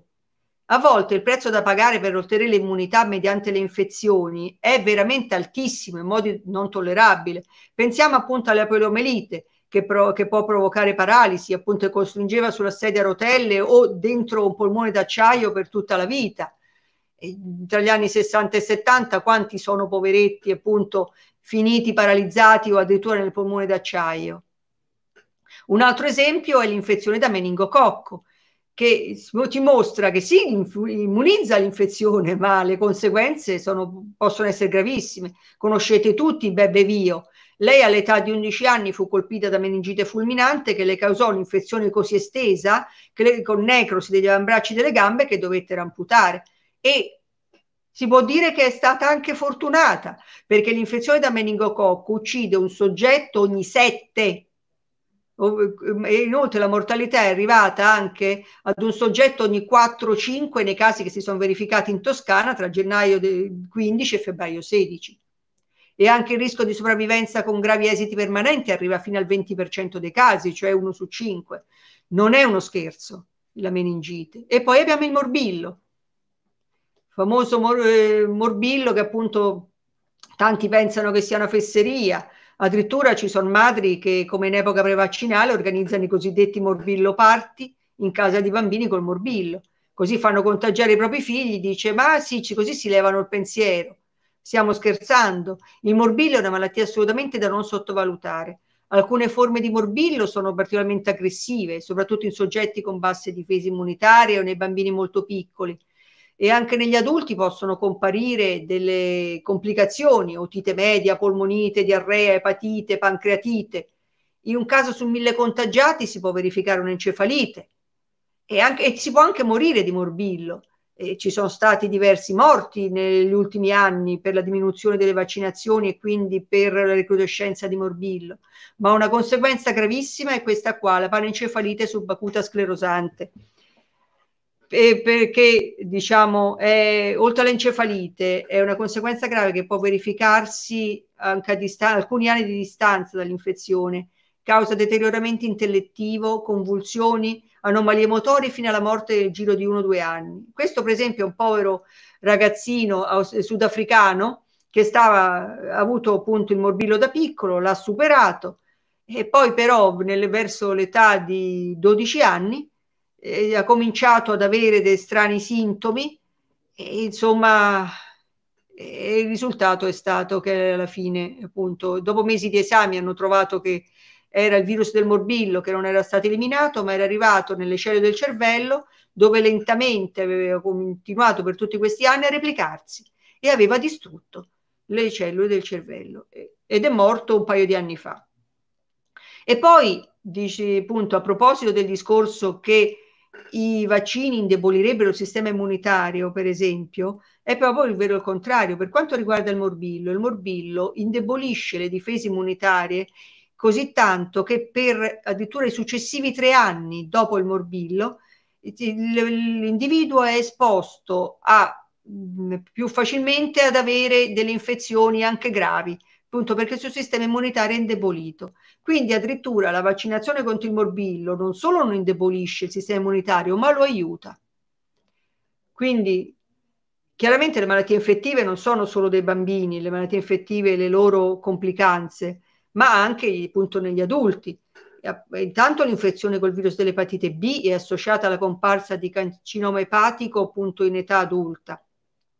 L'infezione con papillomavirus è associata alla comparsa di carcinoma del collo dell'utero, ma non solo, appunto di cancro del pene, di cancro del, dell'ano, anche di cancro eh, esofageo, quindi inoltre i ceppi non, che non provocano cancro comunque provocano verruche, possono provocare anche verruche genitali che sono veramente dolorose. L'influenza può avere appunto complicanze quali polmonite, superinfezioni batteriche, abbiamo visto prima, insomma peggioramento di malattie già esistenti. L'infezione con lo pneumococco può provocare grave polmonite anche con esito mortale. Il virus della varicella, se rimane nel, spesso lo fa di rimanere dopo la varicella nei nervi, può riattivarsi dopo parecchi anni e causare gravi nevralgie ed encefalite. Quindi, insomma, non si scherza. Ma parliamo appunto di un ultimo si dice. Si dice che il Big Pharma lucra sui vaccini, che i vaccini servono alle ditte farmaceutiche per arricchirsi a spese nostre. Sì, è vero, certamente è vero che le ditte farmaceutiche guadagnano sui vaccini, non sono mica degli enti di beneficenza. Tuttavia, appunto, le ditte farmaceutiche guadagnano molto di più con i farmaci terapeutici, i farmaci per curare che con i vaccini. E anche perché i costi per lo sviluppo, abbiamo visto quanto, quante, ci sono diver- quante fasi diverse sono necessarie e tutti i controlli da effettuare su ogni lotto di produzione sono elevatissimi e i ricavi non sono ugualmente elevati. Infatti in Europa, per esempio, c'erano tante ditte, prima ne sono rimaste solamente tre. Quindi non, insomma, non, non è che guadagnino così tanto. Se vediamo appunto in questa diapositiva, per esempio, vediamo quanto ci costano i vaccini? Quanto costano i vaccini al sistema sanitario nazionale? Eh, nel, appunto, nel 2017, che è stata introdotta la legge Lorenzin, la spesa complessiva per i vaccini è stata di 487 milioni di euro, che rappresentano l'1,6% della spesa totale dei farmaci italiani. Nel 2018 che per i dati arrivano solo fino al 2018 perché eh, ogni, ogni, diciamo, sono usciti alla fine del 2019 le, gli studi. Allora nel 2018 su 29 miliardi abbondanti i, per i vaccini si è speso 529 milioni. Questo appunto viene dal, rapport, dal rapporto de, appunto, del 2019 Qui, e ogni persona in questo anno, cioè nel 2018, ha speso globalmente in media 8,7 euro per i vaccini. Per fare un confronto invece si sono spesi a testa 33 euro abbondanti per i farmaci contro l'ipertensione e 14 euro, più di 14 euro a testa per i farmaci antiacido. Inoltre la spesa per curare una malattia non, non prevenibile con la vaccinazione come l'epatite C è stata oltre di un miliardo e per l'HIV i farmaci sono costati oltre 600 milioni.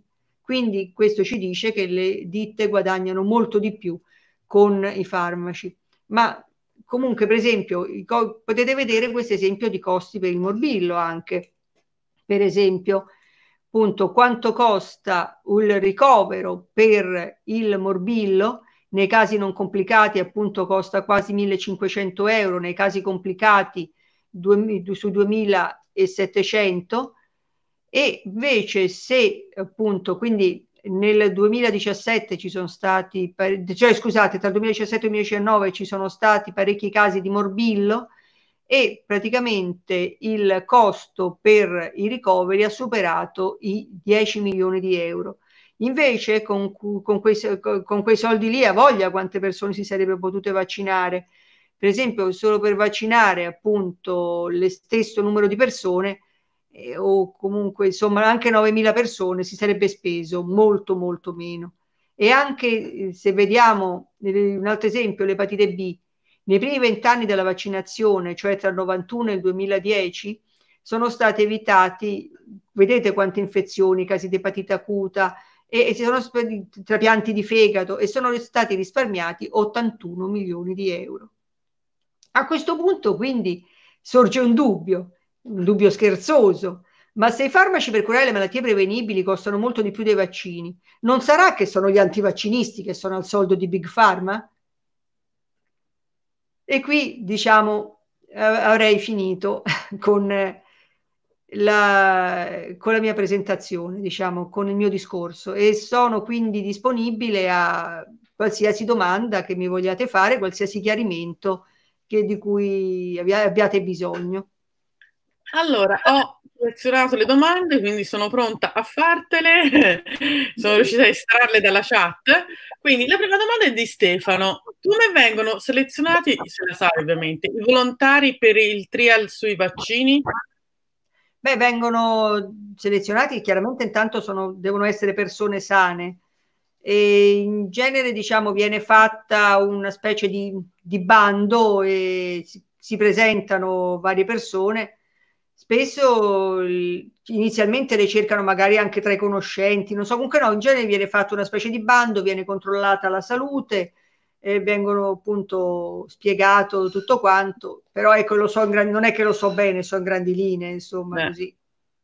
Non, è, diciamo, non ho mai lavorato presso una ditta, quindi non so. E poi comunque io mi occupavo della mh, sicurezza di, del vaccino, eh, della sicurezza e non della parte clinica. Quindi certo. appunto non intendo bene. E poi un'altra domanda interessante è questa. Quando uno si vaccina per il, il morbillo, in realtà l'immunità poi è per sempre, o almeno così sì. giusto è per sempre. Mentre quella dell'influenza va fatto ogni anno. Il vaccino del coronavirus come sarà? Scusa, il vaccino? Per il coronavirus come sarà? E come ah, si fa per i test, mi chiedono, perché qualcuno vuole, vuole anche farlo. Eh, dunque, intanto qui purtroppo non sappiamo quanto durerà l'immunità contro il coronavirus. Eh, non lo sappiamo proprio, potrebbe durare un anno, due, tre o di più, non si sa. Comunque, già se si riuscisse a vaccinare tutta la popolazione o quasi tutta, eh, comunque anche se durasse un anno, due o tre, intanto si interrompe la circolazione. Non dovrebbe in base alle esperienze precedenti, non dovrebbe essere necessario vaccinare tutta la popolazione, nel senso il, no, il 100%, il 90%, perché questo virus non è proprio tanto contagioso, appunto non è come il morbillo, per cui è necessario più del 95% della popolazione perché è molto contagioso. Questo è molto meno, quindi forse non sarà necessario, so, forse basterà un 80-85%, non lo so, eh, queste sono mie illazioni, non, non vanno prese assolutamente come oro colato, assolutamente. E certo, quello che non sappiamo appunto è quanto durerà. Speriamo abbastanza per riuscire a bloccarne la circolazione. E il seguito della domanda era? E come si fa a proporsi per il test? se uno vuole fare il test, diventare cioè, test... Per vedere se uno ha gli anticorpi? No, no, per fare un vaccino, per, per fare il test umano sul vaccino. No, non, non, so esattamente, guarda, anche perché dunque adesso in Italia ci sono due ditte che eh, stanno lavorando a un vaccino. Una appunto è l'IRBM che eh, si sta facendo insieme all'Università di Oxford, ma eh, ho sentito giusto stasera che hanno cominciato le prove di fase 1, cioè quelle per la tossicità, ma su volontari inglesi. In Inghilterra li hanno cominciati e quindi non, eh, appunto, non in Italia. E c'è un'altra ditta che sta... Aspetta che non mi ricordo il nome, lo voglio vedere un attimo qui. Dunque sta qui, diciamo, nel Lazio, a Castel Romano, quindi qui nel Lazio e si chiama Reitera, ed è una ditta appunto tutta italiana da quello che mi risulta, però non so appunto, stanno ancora non hanno cominciato la fase 1, non so come valuteranno, cioè come sceglieranno che tipo di, di bando, tra virgolette, faranno, non ne ho idea. questa ditta si chiama Reitera col TH. Non Quindi. so se, eh, se cercando sul loro sito ci si può proporre, non ho idea. E poi c'è una domanda di Andrea. Andrea chiede: è vero che alcuni virus o batteri non possono essere sradicati perché non risiedono solo negli uomini, zoonosi? Beh, sicuramente, non so, l'influenza non la possiamo eradicare, per esempio, non solo perché è variabile, ma perché appunto cioè, è anche, questa è una zoonosi perché eh, praticamente si ritrova negli uccelli e, e nei maiali che possono trasmetterla a noi. Quindi questa non si può eradicare. E altre, beh, cioè, vediamo un po', certamente so, l'Ebola è una zoonosi, il, anche l'AIDS è una zoonosi, anche se ormai è adattata all'uomo, e, però anche questa è appunto è, Cos'è questa cosa qui? È comparsa la domanda in Italia? È Franco che sta facendo della ho sbagliato, regia. sbagliato. no, va bene. No, beh, io, non ci sono problemi legali che io sappia in Italia per fare i test sui volontari, perché qui si tratta appunto, devono essere persone adulte, sane, danno il consenso informato, quindi non credo che ci siano problemi. Insomma, sì, ci sono delle malattie appunto che non si riesce a eradicare o perché il virus è variabile o perché può esserci di nuovo trasmesso dagli animali, sì. Oh, andiamo avanti con le domande. Eh, allora, in, in, in, quasi ogni malattia si incontrano i cosiddetti portatori sani, che per un motivo, forse anche genetico, non si ammalano. Ci mm-hmm. sarebbe un modo di sfruttare questo meccanismo per sviluppare vaccini?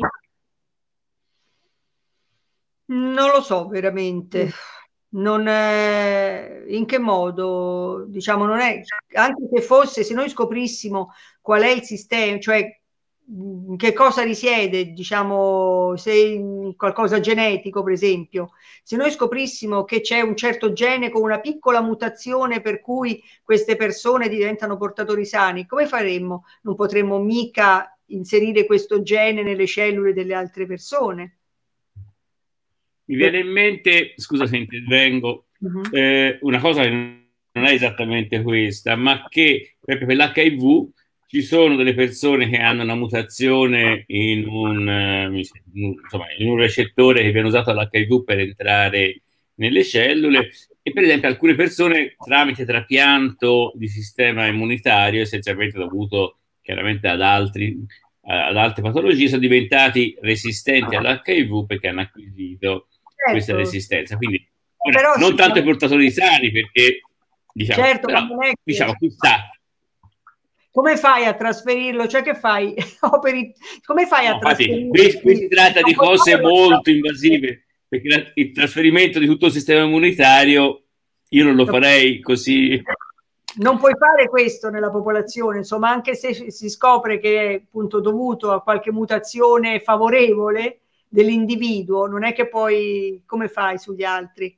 No, poi, è solo per dire, no, chissà, no, certo. forse in un lontano futuro. Vai, andate avanti con le domande. Non, eh, non attualmente.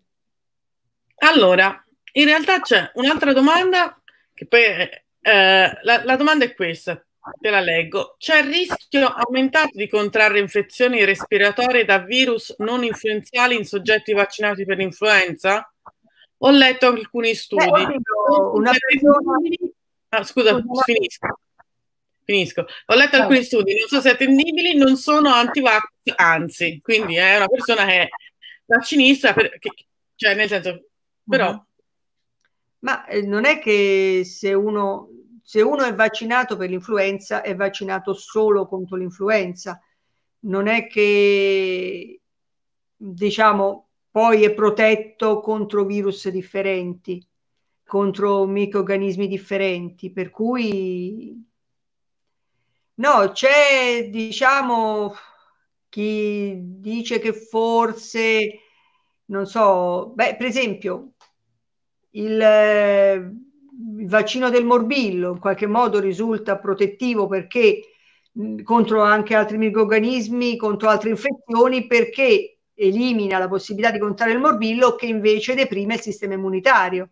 Quindi in questo senso, però non è che fare vaccinazioni contro virus differenti o altri microorganismi può aiutare a diventare più forti contro altri.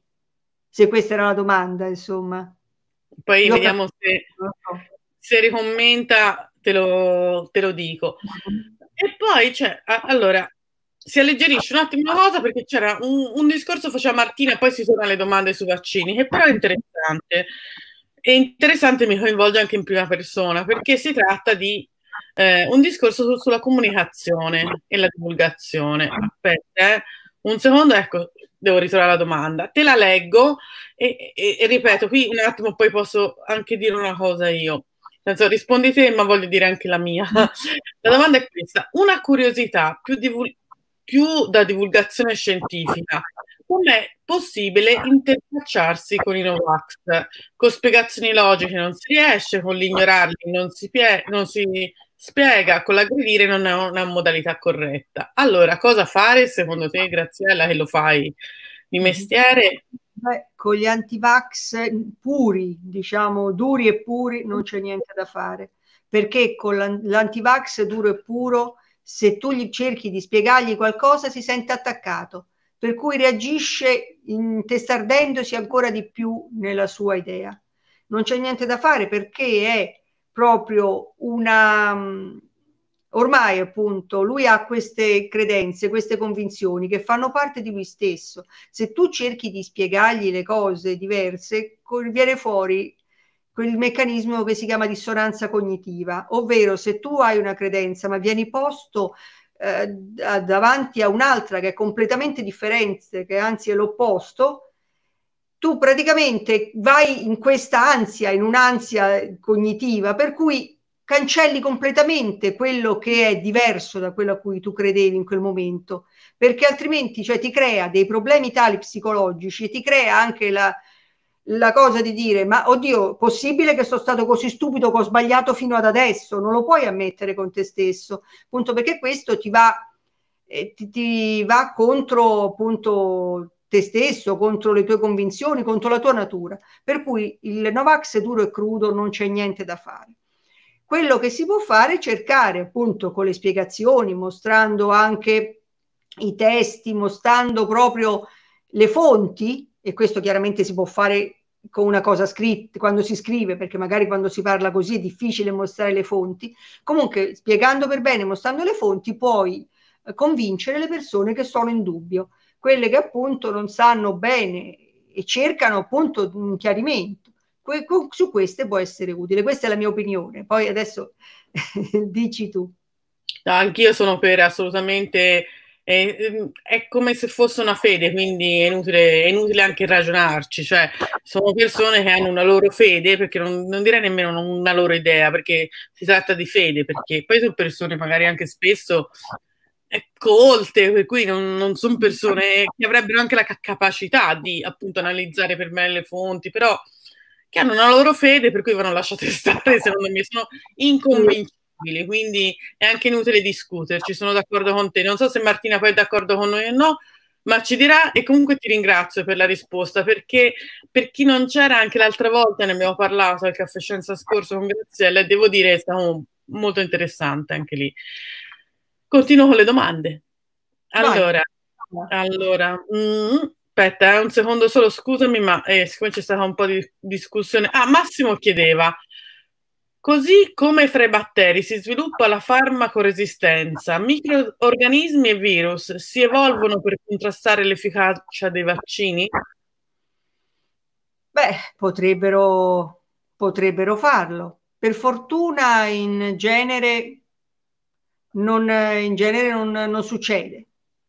Potrebbe, ma sembrerebbe che per ora no per ora diciamo i vaccini, tranne il famoso vaccino dell'influenza, ma quello non lo diciamo, cioè il virus dell'influenza non lo fa in realtà per, per difendersi dal vaccino, lo fa perché normalmente è un virus che muta indipendentemente dalla vaccinazione. Però per appunto per quanto riguarda perché, anche perché i batteri in realtà mutano non per difendersi dal vaccino, ma per difendersi dagli antibiotici. Quindi diciamo è una cosa diversa. Un virus potrebbe mutare per difendersi invece da un antivirale.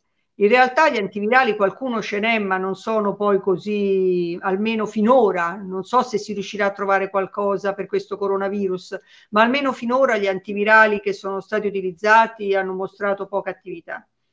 C'è un antivirale che stanno usando contro il, questo coronavirus che è il Remdesivir, che agisce contro la RNA polimerasi del virus, cioè l'enzima del virus che fa sì che, si, che permette la replicazione dell'RNA, la moltiplicazione dell'RNA, cioè dell'acido nucleico del virus, e agisce appunto su un punto, insomma, de, quindi lì potrebbero esserci delle mutazioni del, dell'RNA, per esempio, specialmente se la quantità di antivirale non è quella giusta ma è inferiore, così come avviene magari con gli antibiotici, che uno te, prende l'antibiotico, gli si dice prendilo almeno per 5 giorni, lo prende per due giorni e questo fa sì che diciamo facilmente si sviluppino delle resistenze, cioè prendano il sopravvento dei batteri un po' mutati. Lo stesso anche con, con questo caso, per esempio, se la quantità, le dosi date fossero troppo poche, potrebbero svilupparsi delle varianti che poi magari non sono più, certo. eh, diciamo, su cui l'antivirale non agisce più. Però per quanto riguarda i vaccini, finora non è successo, neanche con quelli batterici in realtà. Federica fa una precisazione, io la leggo perché mi sembra importante farla. Non c'è solo il medico vaccinatore, esiste un'altra figura specializzata in vaccinazioni in indagini epidemiologiche, ora molto importante, di cui non si parla mai, l'assistente sanitario. Beh, è vero, sì. È, è, una e giustamente Federica l'ha detto e... Aspetta. Eh. Ecco, ci sono... Franco? No, no, no, volevo, se avete finito, ricordavo, volevo ricordare due cose che sono state citate, perché vi ricordate qualche anno fa eh, abbiamo fatto eh, nel 2017 un caffè scienza proprio sui vaccini e gli errori della comunicazione vi ricordate, era, era il momento della contestazione in Italia dovuta al fatto appunto che si facevano troppi vaccini per, per i bambini, si era scesi sotto una certa copertura eh, vaccinale, infatti poi ci fu l'epidemia di morbillo e così via. E c'è questo libro di Grignolio che io ho provato a invitare, ma voleva 7.000 euro, no, forse no, forse 2.000 euro, ma insomma voleva un pacco di soldi per venire a Caffè Scienza, che ovviamente non ce l'abbiamo. E quindi io dovetti fare io le veci del, del relatore, nel senso mi lessi il libro di Grignolio, me ne lessi altre, ehm, e quindi eh, c'era tutta una discussione molto interessante, delle indagini molto interessanti sul, in qualche maniera, il perché appunto c'è questa resistenza diffusa ai, ai vaccini. Chiaramente c'è la, la, dissonanza cognitiva, come hai ricordato te, c'è anche il fatto che ormai siamo tutti molto più acculturati, nel senso che gran parte delle persone, anzi gran parte degli antivaccinisti sono laureati uh-huh. e, e chiaramente si sentono un po' alla pari rispetto ai dottori. Nel senso, sono laureato io, sei laureato te, no? E quindi perché quello dico io deve essere meno importante di quello che dici te? Quindi, eh, mentre una volta eh, chiaramente uno faceva quello che gli diceva il medico, se il medico gli diceva vaccinarsi, si andava a vaccinare, ora diciamo un po' tutti siamo nati imparati. E poi c'è anche il discorso eh, del fatto che appunto oggi riteniamo intollerabile, per esempio, una morte o anche una malattia di un bambino, giustamente perché normalmente non siamo più abituati a vedere morire i bambini. Una volta era naturale, cioè quando uno faceva figlioli prendeva in conto la possibilità che una percentuale alta di questi figlioli morisse. Oggi sembra inconcepibile, oggi mor- vedere morire un bambino è un crimine, diciamo, dell'umanità. E quindi chiaramente, essendo, avendone pochi, avendone magari uno solo, eh, uno dice perché devo esporlo a un qualsiasi minimo rischio? Chiaramente con il vantaggio di proteggere la popolazione, ma con lo svantaggio di assumere io un piccolo rischio. Preferisco, se possibile, non fare proprio questo. Infatti, citava, mi ricordo in quel libro, l'esempio di un dottore in qualche maniera antivaccinista americano che suggeriva però di non fare propaganda rispetto all'antivaccinismo, cioè diceva non vaccinate i vostri figli, ma non ditelo ai vostri vicini, perché loro almeno si vaccinano e proteggono anche i vostri figli. Questo è molto americano come, come modo di dire. Basta così, vi, vi, lascio di nuovo discutere. No, no, no, no. Il tema è questo, appunto, che il... Non mi sento più. No, no, sì, sì. Che il danno, diciamo, da vaccino poss- eventuale, pro- lontanissimo, è appunto considerato molto più probabile di invece un danno dovuto alla malattia, quando come abbiamo visto la possibilità di avere un eh, danno da una qualsiasi malattia infettiva è molto più elevato di un eventuale effetto collaterale di un vaccino. Però appunto, siccome le malattie infettive non circolano, circolano poco, ma circolano poco perché ci sono i vaccini. Non facciamo le vaccinazioni e vediamo quello che succede. Che è successo con il morbillo, appunto, tra il 2015-2016 fino ad arrivare all'anno scorso? Ci sono stati tanta gente con malattie anche gravi e ci sono stati dei morti che non ci sarebbero stati e non, c'era, non c'erano prima, quando, prima che calassero le percentuali di vaccinazione. Io non lo so, e appunto, io questa gente che, questi antivaccinisti convinti, li metterei tutti insieme in un'isola. No, no, ma c'è invece un'altra, un'altra cosa interessante. Poi, che... cioè, non sono protetti dal, dagli altri, capito? E vedrei quello che succede. È vero, è vero. Questo, diciamo, però c'è una, una cosa che mi ricordo sempre, non mi ricordo se era dal libro di Grignolio o da un altro libro interessante che si chiama Nudge, La spinta gentile, che parlava anche quello delle strategie, perché queste opposizioni ai vaccini non sono cose nuove, si sono verificate per esempio anche in Inghilterra nell'Ottocento, in cui chiaramente eh, c'erano il problema del colera, eh, insomma, volevano, insomma, erano grossi problemi. E anche lì ci sono state vi ricordate anche l'immagine che ho messo come corredo di questa caffescenza su YouTube? Se andate su YouTube vedete c'è quell'immagine famosa di quella stampa ottocentesca in cui si vede i medici che vaccinano e che ai pazienti spuntano bubboni con eh, teste di vacca perché essendo appunto il vaccino fatto dalle vacche no? e così via. Quindi è una cosa eh, riconosciuta. L'Inghilterra un secolo fa o quasi, ha percorso quello che noi, ovviamente, essendo un po' ingenui, facciamo, abbiamo fatto ora per quanto riguarda gli altri vaccini, ovvero prima hanno detto obblighiamo tutti a vaccinarsi, ci sono state barricate, scontri e così via. Poi hanno usato un approccio molto più soft. E mi sembra che adesso sia possibile non vaccinarsi in Inghilterra, ma per non vaccinarsi ti richiedono che tu eh, praticamente passi un esame in cui racconti di sapere tutte le conseguenze a cui puoi andare incontro se eh, non ti puoi vaccinare tuo figlio o te stesso. E quindi chiaramente non è tanto la conoscenza, è la fatica di passare questo esame che fa sì che tutti si vaccinino, punto e basta. Eh, chissà, non so se funzionerebbe qua, boh, chi lo sa. Comunque sì, è vero appunto che l'opposizione ai vaccini è cominciata subito, da subito, da quando Jenner ha cominciato a cercare di diffondere la sua vaccinazione. Già non gli hanno dato retta alla Royal Society, alla Royal Scientific Society. La, pub- la pubblicazione in cui dimostrava, le, diciamo, in cui scriveva le sue osservazioni, dimostrava l'efficacia, se l'è dovuta stampare da solo, non gliel'hanno voluta pubblicare perché non, gli, non ci credevano figuriamoci. Poi appunto tutte le associazioni antivacciniste in Inghilterra, proprio una quantità enorme, poi in Francia e poi ovunque, anche in Italia, anche negli Stati Uniti. E c'è stato da, da sempre, da subito. Da subito. Senti, eh, c'era una domanda che te la faccio e poi magari chiudiamo, però una domanda era interessante tra tutta la discussione, eh, eh, c'era questa domanda. I vaccini sono più efficaci nei giovani che negli anziani? Cioè, è vera questa cosa? Oppure, eh, eh, diciamo... il sistema immunitario dell'anziano è meno attivo, meno funzionante, diciamo, che quello dei giovani. Quindi potrebbe essere che nell'anziano appunto funzionino un po' meno, però anche qui dipende da, dalle persone.